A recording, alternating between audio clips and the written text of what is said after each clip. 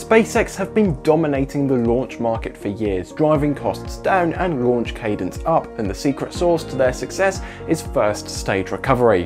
While Starship is the pinnacle of rocket reusability, there's only one rocket today that is doing it on a regular basis, and that's Falcon 9. Of course, you know that, you're a space nerd like all of us, but do you actually know the details of the recovery fleet behind the action? Do marine assets actually suck?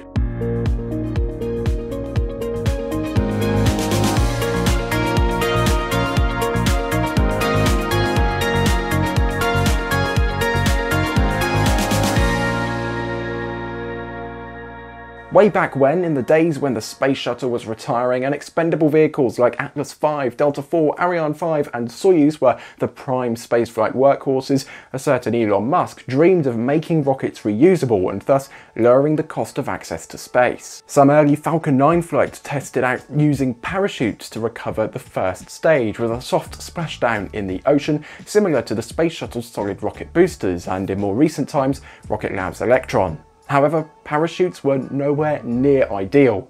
The first stages broke up in flight before the chutes could be deployed, so it was back to the drawing board for SpaceX. One thing was the Falcon 9 first stage was pretty large, being 30 meters tall. Parachute recovery works well for small rockets, model rocketeers have long known this, but using chutes is problematic for larger rockets as more chutes are needed, and if the splashdown is even a little bit more energetic, the rocket could be seriously damaged. The one and only flight of the Ares 1X is a perfect example of this. The first stage, a shuttle SRB with a faux segment bolted to the top, splashed down too quickly due to issues with the chutes. A big nasty dent was made in one of the steel cases as a result. So with the next iteration of Falcon 9 being even larger, the version 1.1 that is the basis of the rocket we all know and love today, SpaceX needed a new way to recover the rocket.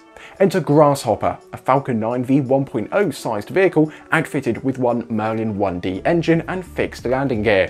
It tested out vertical takeoff, vertical landing techniques at the test facility in McGregor, Texas, which had never been done with a vehicle of this scale before. Following multiple hops of success, it stood aside for the F9R Dev 1. The F9R was more representative of the Falcon 9 that would actually perform these landings after customer paying missions, being the size of a V1.1 booster with three Merlin 1D engines and retractable landing gear, although they were never retracted and extended in flight. Later, grid fins were added, which helped SpaceX acquire the knowledge on how to aerodynamically steer a massive flying tube of aluminium. The F9R performed a number of successful tests before exploding in flight due to a sensor, which caused the rocket to deviate from its normal trajectory. Along with this groundbreaking vertical takeoff, vertical landing recovery method, SpaceX needed somewhere for the boosters to land, with both ground pads and autonomous spaceport drone ships being constructed. But why do we need two recovery methods, which would come to be known as return to launch site or RTLS and drone ship recoveries respectively?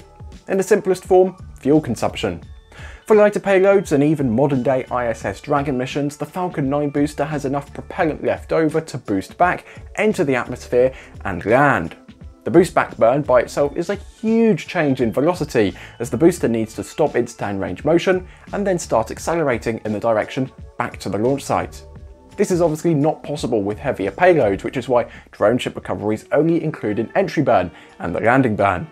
And of course, on the rare occasion that a Falcon has to carry more than it can recover with, the entire vehicle, or maybe just one core in the case of Falcon Heavy, is expended into the ocean. For an average Falcon 9 mission, SpaceX can pull an RTLS with a maximum of around 12.5 metric tons of payload. For a drone ship recovery, that number extends up to around 17.5 tons, with any number beyond that ending up being expendable, with the capabilities for over 20 tons to LEO.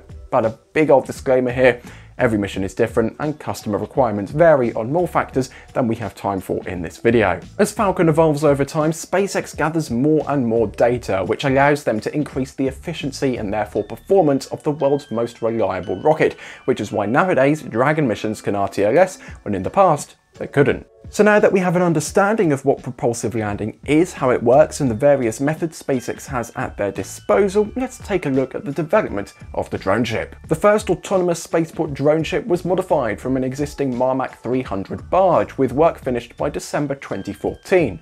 the ASDS was sent out into the Atlantic for the CRS-5 mission to start off the new year, and on the evening of January 10th, CRS-5 took to the skies, and the first stage attempted a landing on the new drone ship.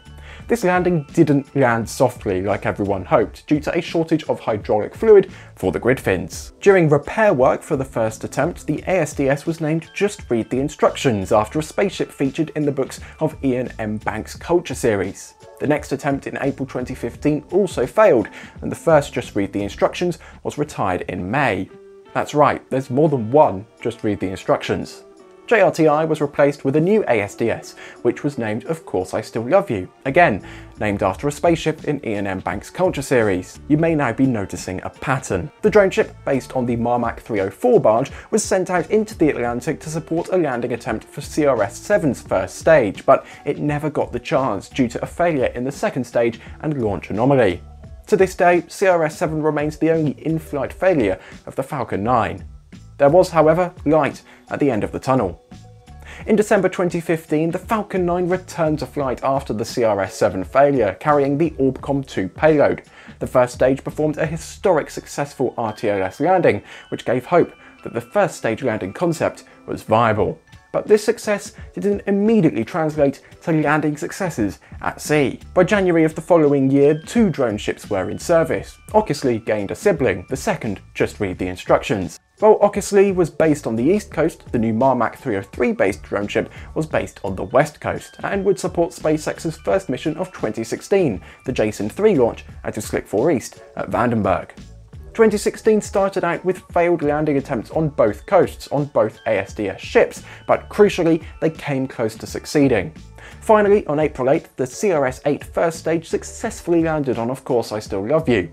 Over the coming months and years, more successful landings were taking place, interspersed with the occasional failure. The concept was being proven and data was being gathered with every attempt. Eventually, a third active drone ship was needed as SpaceX rocketed up in cadence. In February 2018, a shortfall of Gravitas, yes, named after another spaceship in the Culture series, was announced. ASOG was finally completed in the summer of 2021, two years after it was first slated to enter service. Sea trials for a shortfall of Gravitas were conducted in July 2021, and ASOG was the first ASDS that demonstrated that it didn't need a tugboat to get to its station at sea, but that's a topic for a little bit later. Upon delivery to Port Canaveral, the deck showcased another development in the drone ship, which was the shape of the wings, which tapered in. This drone ship, which was developed off of the Marmac 302 barge, was first used for the CRS-23 flight in August of the same year, and as of the time of publication, no landing set for ASOG has ever failed. For those of you who regularly tune into our launch broadcasts from Florida, hearing just read the instructions in the Pacific, and of course I still love you in the Atlantic, won't sound right, and that's because the ships swapped coasts alongside the introduction of a shortfall of gravitas.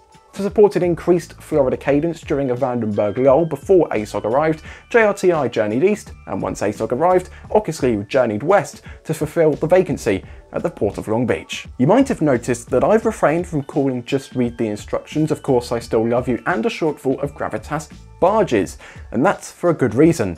They are much more technologically advanced than your average barge. Visually, they have the wings added to their sides to increase the surface area available for these rocket landings, as well as GPS navigation capabilities and four diesel-powered azimuth thrusters that can lock onto a precise position in the ocean.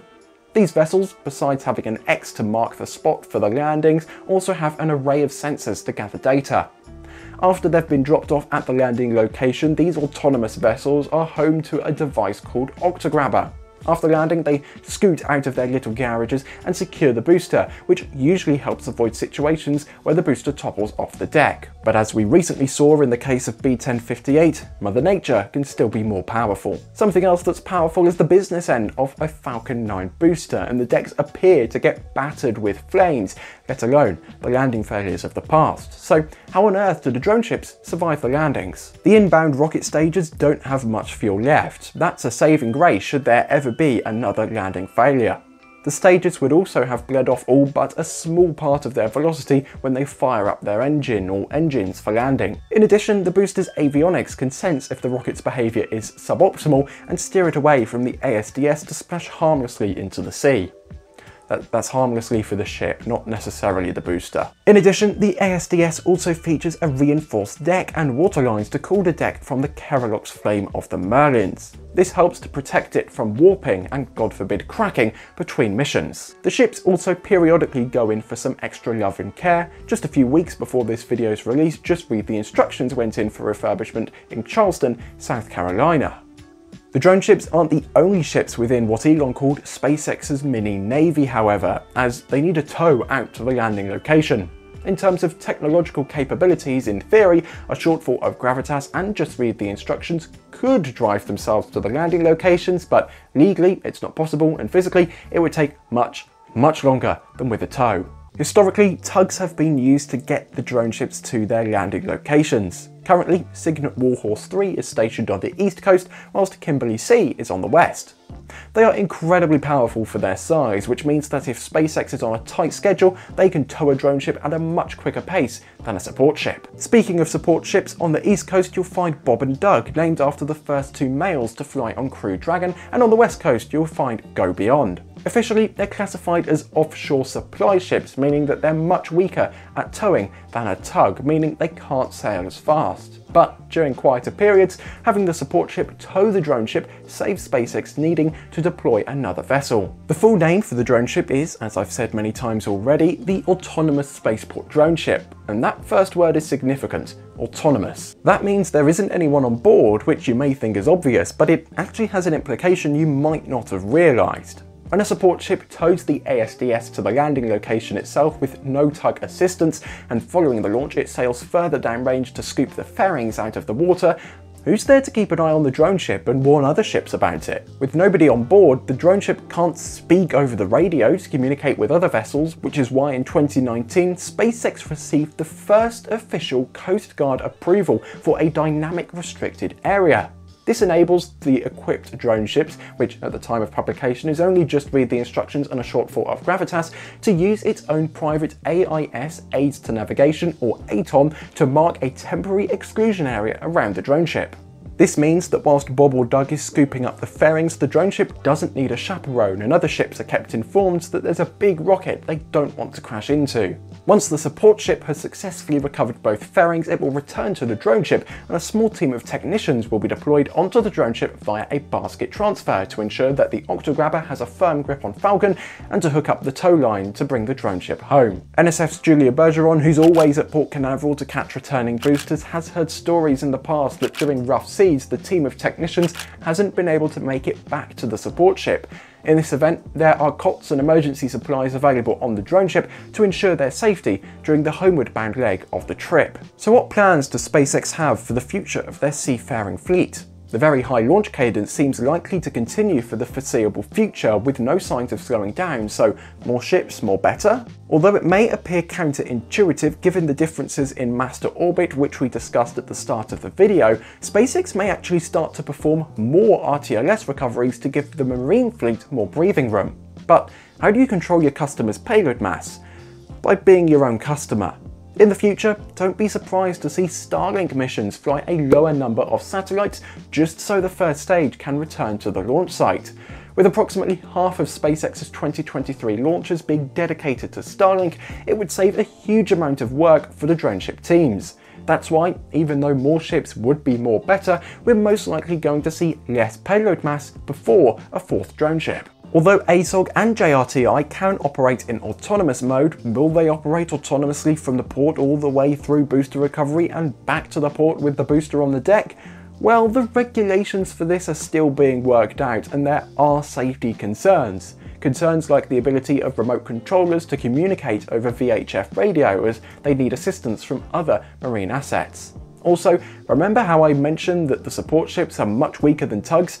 Imagine the wear and tear a drone ship's engines would face by doing a trek like that all by itself. They're designed to stay in one spot, not travel hundreds of miles. Maritime rules and regulations have been developed over the centuries, assuming that ships and boats would have people operating on them. And the Coast Guard can only enforce US maritime law within the 12 nautical miles of its waters before international law applies and on US flagged vessels, so technically there's nothing preventing foreign flagged vessels from moving into the exclusion area that the drone ship has marked for itself. This can make security challenging.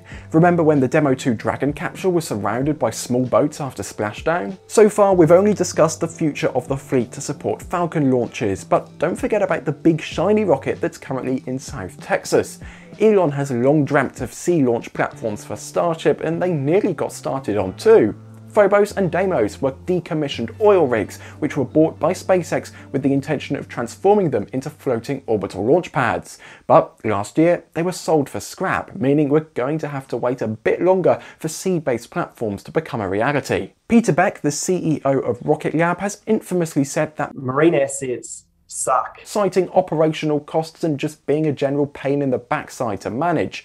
However, for SpaceX, marine assets have become invaluable in allowing booster and fairing recovery, enabling a higher launch cadence at a lower cost, revolutionising the launch industry.